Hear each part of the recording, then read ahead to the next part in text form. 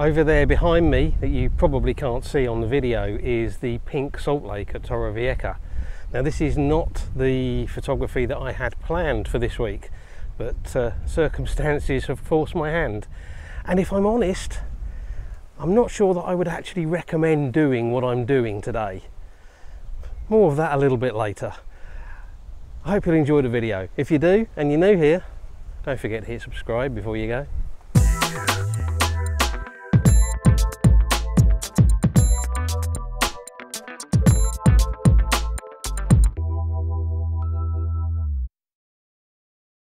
Hi everyone, thanks for joining me. So, as I said, I am at the Pink Salt Lake in Torrevieja. And if you watched my last video when I talked about you know plans and updates, this was a location that I said I wanted to come back to. Uh, I've done it before, but I've normally done it in the winter, or at least in autumn or spring. Uh, and whenever I've been here, it's not been pink. But today it is pink, and I think that's because it only ever really gets pink in the summer, and that's got something to do with the minerals or whatever it is that react with the water to give it this pink colour. Now I also said in my last video that I was intending to come here and do an early morning shoot here, and that was actually what I planned to do. Unfortunately, my car packed up, or at least developed a fault, which meant I couldn't drive it until I got it fixed. So it's been in the workshop and it's now been fixed. But it means that the early morning shoot wasn't possible, and the only opportunity I've got this week to come out and do some photography is this afternoon. So I've come here, even though it's the middle of the afternoon, and I actually kind of thought, you know what, it might actually be that you know uh, some nice harsh sort of midday mid-afternoon sun is actually what's going to be best to bring out that pink color which i'm hoping is going to show up on the video and on the photos because it is actually really quite a striking pink color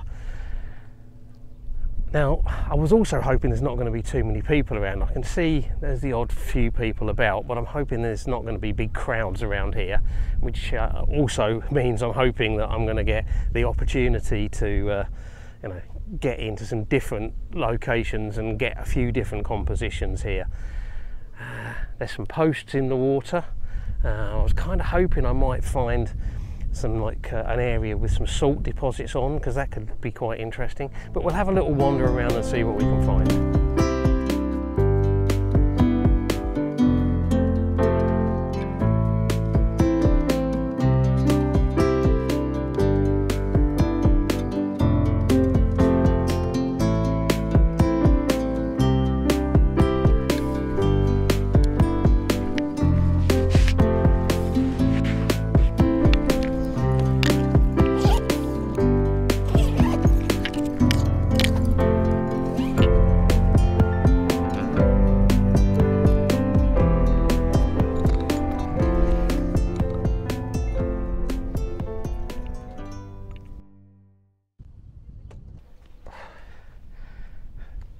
Going to go for a pretty simple composition to start with. There's a few rocks in the water and then one of the wooden posts in there. So I'm just bringing the rocks in just from slightly to the left of centre of the frame, leading out to the post, which is just a fraction off centre to the right of the frame, and hopefully with um, some nice pink water in there. Now, I will say that I've bought the tripod because I had a feeling I'd probably want to do some long exposures to take the ripples out of the water. Uh, so I'm going to pop on, well, probably a 10 stop first and see what we can get with that.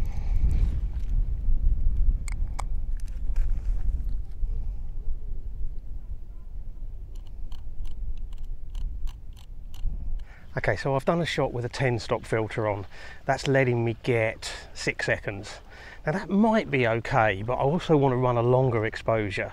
What I'm going to do is pop a three stop on as well. That should let me get a minute there or thereabouts. Um, now I'm actually doing two shots because I'm shooting at 22 mil and the rocks in the foreground are actually pretty close. So I'm going to focus stack one on the post and one on the rocks. Uh, obviously for a six second exposure that's pretty quick.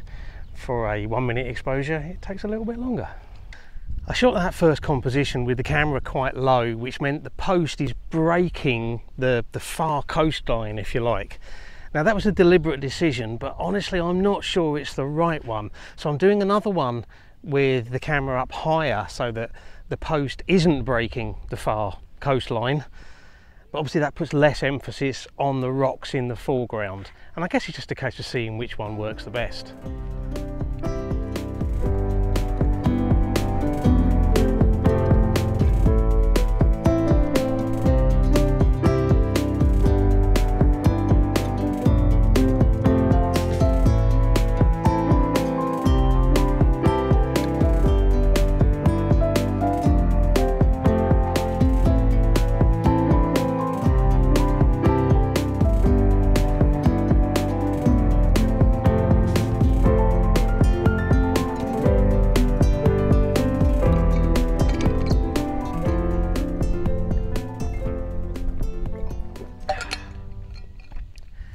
Said at the beginning of this video that I wouldn't necessarily recommend doing what I'm doing today. Now the reason for that is it's middle of July and we've got a heat wave here. The temperature today, this afternoon, is around 35, maybe 36 degrees.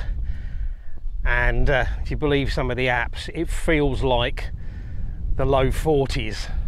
So it's very, very hot and in fact the recommendation is not to be out at this time of day. Um, but you know if you're going to come out at this time of day you know it's important to take appropriate precautions. Uh, you know I'm wearing a hat. I'm covered in high fact high protection factor suntan lotion because I burn very easily um, I've not gone somewhere which involves a lot of walking, um, particularly nothing strenuous. In fact, I'm only a five minute walk from the car, so if I start to get overheated, I can get back to the car, get the air conditioning on and cool down pretty quickly. Um, I'm going to limit the amount of time that I'm out. I'm not going to be out here for hours because it is just too hot. And most importantly, plenty of water because it is very, very warm.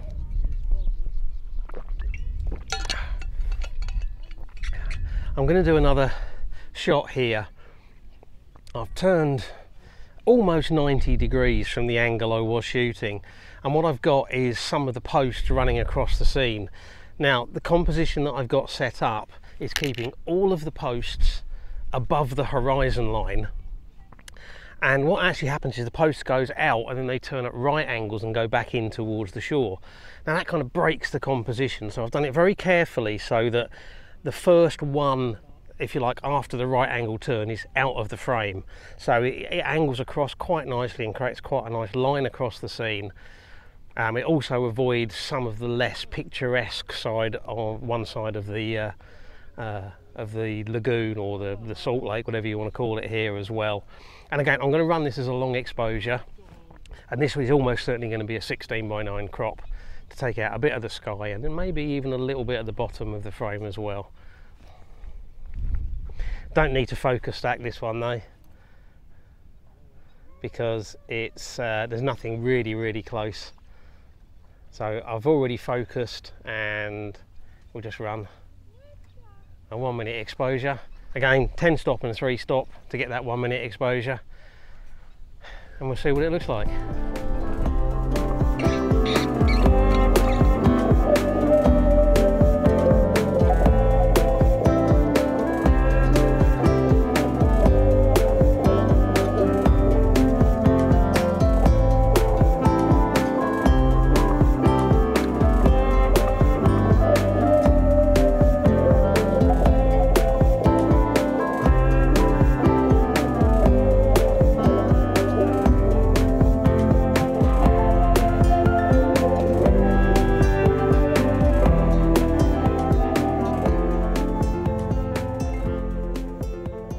there's a, quite a few people turned up here now.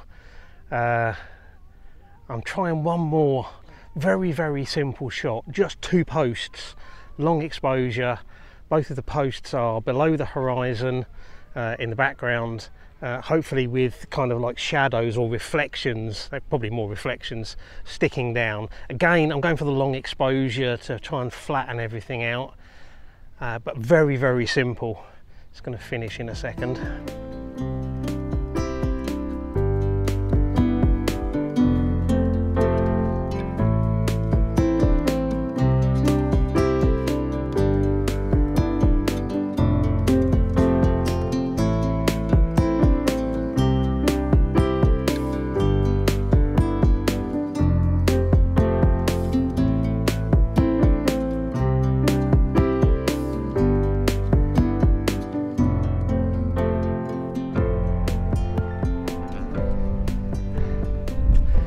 Yeah, it's very hot. Quite a lot of people have turned up now.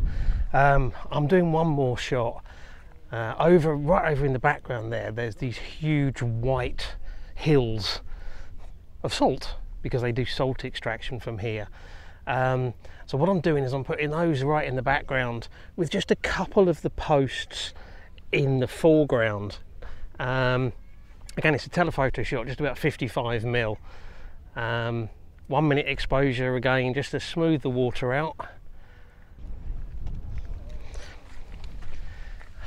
I was going for a vertical composition, but I'm not entirely convinced that's the best option. What I'm actually thinking is to go for a slightly more zoomed in horizontal composition, probably still just two posts in there, but uh, I think it might just be a little bit stronger. And I'm not sure if I need to adjust the height a little bit. The reason I'm not sure about the vertical, there was too much dead space at the bottom and the top, and the only way it would work is as a square crop. I just can't help but think we might be better off horizontal, but uh, more zoomed in.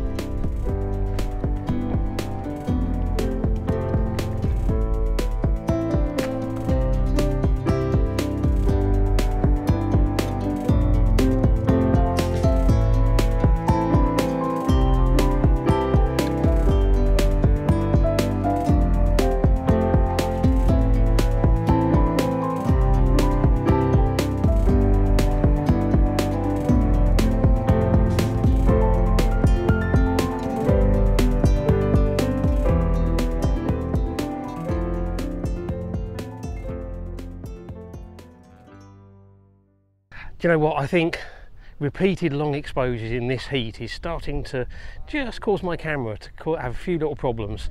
Um, and I think it's causing me to have a few little problems as well because it's extremely hot, very humid as well. We've got like 85, 90% humidity, so it's it's pretty uncomfortable. And I think it's time to head for home. And uh, I think it may have worked out well because I don't think somehow that at sunrise or sunset the pink of this lake is going to come through as much as it does during the day when you've got direct sunlight on it. I don't know, I'll probably still try and do a sunrise here in the not too distant future, but uh, doing it in the daytime might have been the best option, I don't know. But I'm hoping to do something else next week, which probably will be an early morning, but probably not here. We'll have to see. But I hope you've enjoyed this video. I hope I've got a few images that really show you what this pink lake is like and I'm hoping that the pink has come out on the video as well. If you've enjoyed this video, you know the routine, likes, shares, comments, all really appreciated. If you've enjoyed this video and you want to see more of my stuff and you haven't hit subscribe yet, now would be a great time to hit that button. And as always, I really appreciate you taking the time to watch, so thank you very much. And until the next video, bye.